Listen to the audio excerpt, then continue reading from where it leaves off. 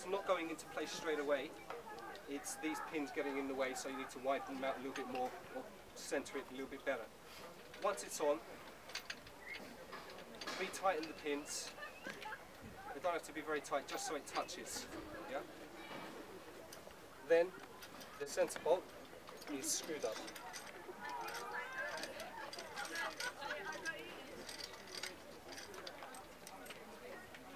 Get it good and tight, but not too tight, otherwise you're going to have a big job carrying it off afterwards. Now the mount head is nice and secure on the tripod legs. Now you'll notice that I had both clutches undone here. When you're transporting equatorial heads, it's always advisable to do that, especially ones which are driven that have gears on the inside. Um, if you lock them up during transport, if something's leaning against it and you're putting strain on the gears on the inside, and you, you could mesh them up, you know, it's not very good. So if you're transporting it, unlock the gears always. Once it's secured to the tripod, then you can lock everything back up. And if you notice, I've got everything kind of lined up and perpendicular. Um, you can do so. Sometimes there's uh, setting circles here or two index marks like there are on altazimuth mounts. It's always good practice to have it in this kind of configuration. Uh, usually people call this the home position. Yeah.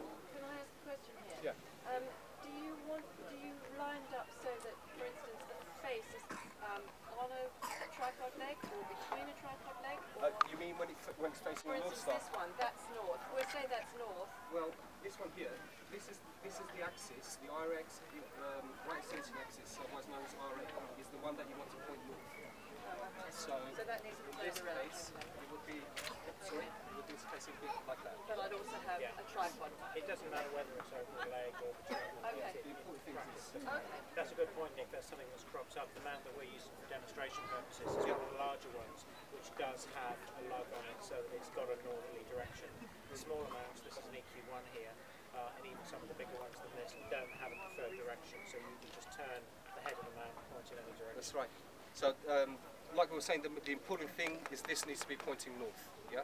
Uh, later on, when we do the polar alignment, you see there's, a, there's actually a polar scope in there, and this axis is hollow, and we're going to align this axis so it's in perfect alignment with Polaris, and that will match the tilt of the Earth, and make it a lot easier to track things uh, through the sky. But we'll get to that later on. We have to know how to set it up first. So let me just put. Oh. Right,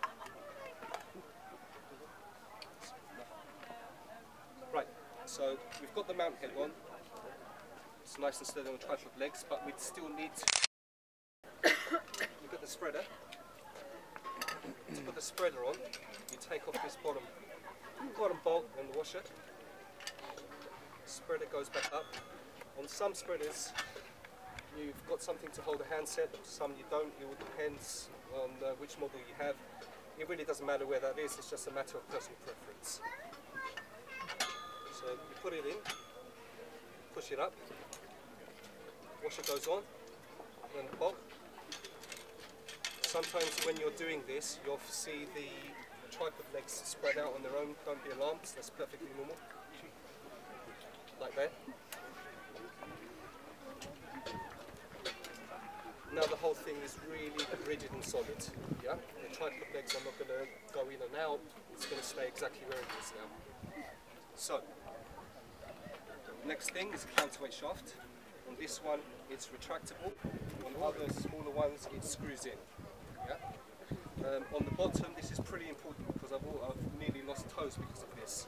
Uh, the restraining bolt on the bottom, always use this. That's very, very important. Yeah. The amount of times I've been lax and slid off, and because your feet are right there, this is why I wear steel, steel toe, steel toe caps. That. you don't want five kilograms dropping on your leg. So that would just go on there, you'd secure it. Whenever a weight goes on there, I don't, it doesn't matter if you're just bending over to pick up the next one, it's always good practice to put it back on just in case, you never know. You might not have it up correctly, something might be wrong, you don't want to squash toes. So,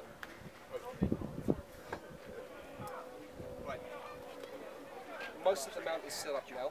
I'm not going to put the counterweights on just yet. Yeah? Uh,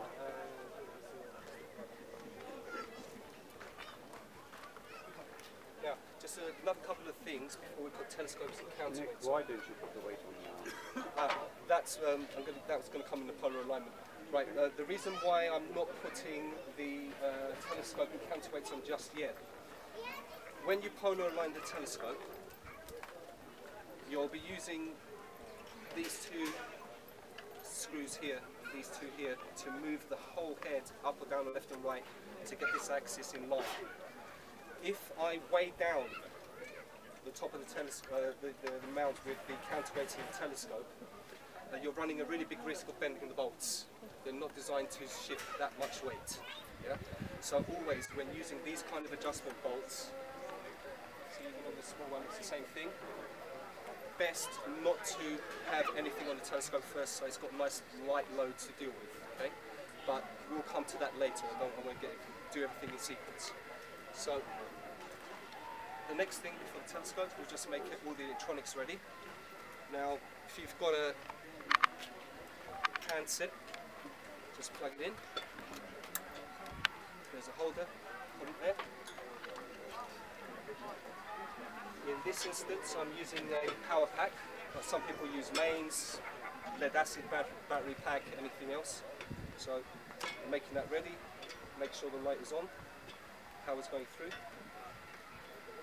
And we'll just plug that in. And that's the end of the setup for the time being. Yeah, it's now ready to receive counterweights. It's now ready to receive the telescope. And but before we would do any of that, we would have polar aligned it first. Yeah, so that's an equatorial setup. Yeah? It takes a little while, longer than the altazimuth, but you get more out of it afterwards. If you get much higher tracking accuracy, if you want to do long exposures, an equatorial mount can handle that where an altazimuth mount, uh, altazimuth mount cannot. Yeah. Is everybody happy with what polar alignment means, or does anybody want some more detailed explanation? Just uh, a bit more review, just to, just in case. Okay, Sorry, second. Polar, pol- polar The alignment. polar alignment. is it with Polaris? Yeah, that's right. I mean, It's not polarized light or anything. No, no not polarized light. All right. Yeah. Basically, on an altazimuth mount, the axes of rotation are up and down and left and right. Yeah. But objects cross the sky in a curved path. And basically, uh, because the Earth rotates on its axis, it's a simple motion, but it just makes objects appear to follow a complicated path across the sky. If you take those two axes of rotation that are at 90 degrees to each other and turn one of them so that it's parallel to the Earth's axis, as the Earth turns one way, if you turn your telescope mount the other way, it counteracts the Earth's rotation. The telescope stays pointing in the same direction in space.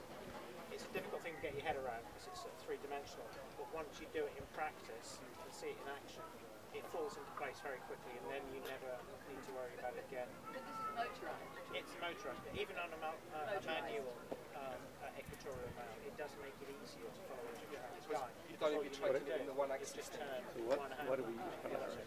And that's what this is here. That axis there, as Nick was saying, the, the polar axis, the right ascension axis, is parallel to the Earth's axis.